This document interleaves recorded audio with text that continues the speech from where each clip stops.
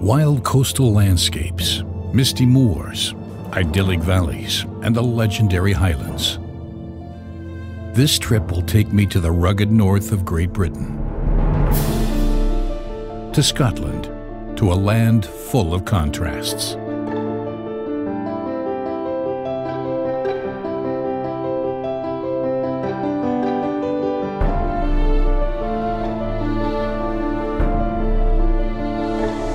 The beauty of the last wilderness in Britain is quite simply staggering.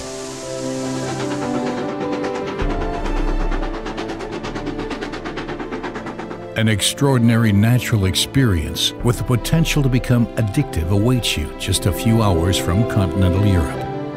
And it's not just Scotland's landscape that casts its spell over the visitor, because the country is also rich in culture and history. Lots of things come to mind when you think of Scotland.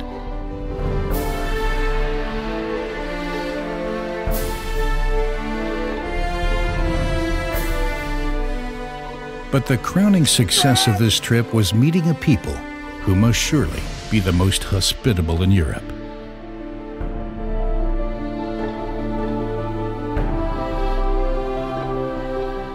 It's no wonder then that this country has such a large and loyal fan club. Year after year, countless visitors head for the far north. It really was love at first sight. It's an expression you hear a lot when you talk to travelers about their bond with Scotland.